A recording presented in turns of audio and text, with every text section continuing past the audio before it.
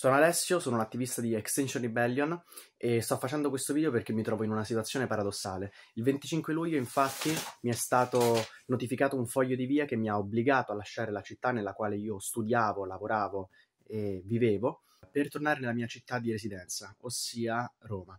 Il foglio di via mi è stato dato durante un'azione del movimento ecologista Extinction Rebellion, quando due attiviste si sono arrampicate sul palazzo della regione e io in quell'occasione stavo facendo esclusivamente foto e video. Ciò nonostante eh, mi sono preso tre denunce e il foglio di via, appunto, che mi ha obbligato a tornare. Trovo questa scelta del tutto illegittima e arbitraria e soprattutto politica.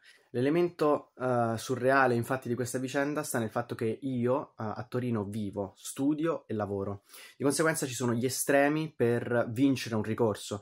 Il foglio di via mi è stato notificato con la chiara consapevolezza che poteva essere ritirato dietro un uh, ricorso che costa ben 500 euro. Questa è quindi una chiara scelta del questore, una chiara scelta politica uh, che ha il chiaro obiettivo di segare le gambe a un movimento che ha chiaramente dato fastidio.